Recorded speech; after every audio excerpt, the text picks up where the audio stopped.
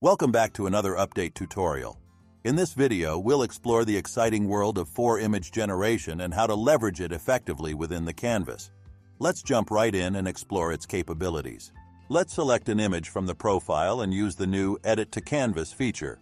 Before clicking the Edit button, it's recommended to duplicate the tab. This way, we can easily access the settings once we're in the canvas. This handy tip comes straight from Mr. Z, now similar to the board, we have the option to choose from 1 to 4 images generation. Let's proceed with our first batch generation of 4 images.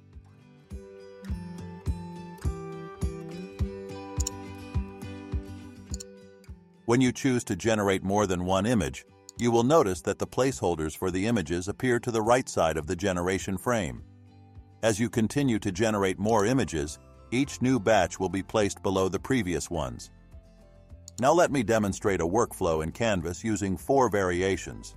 We will select one of these generated images and send it to image to image to create four different variations of it.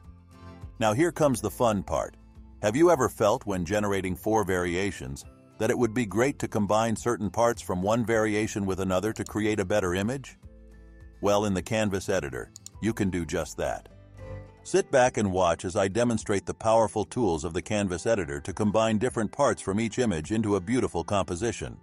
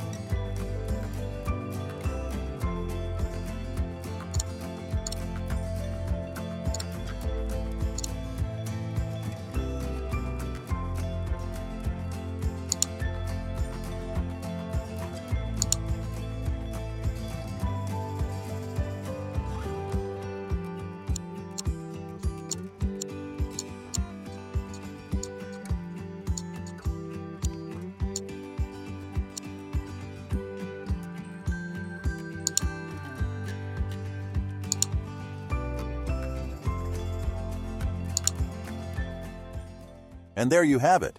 With the ability to generate more than one image at a time, it opens up new possibilities for creativity within the Canvas editor. I hope you enjoyed this tutorial and I'll see you in the next one.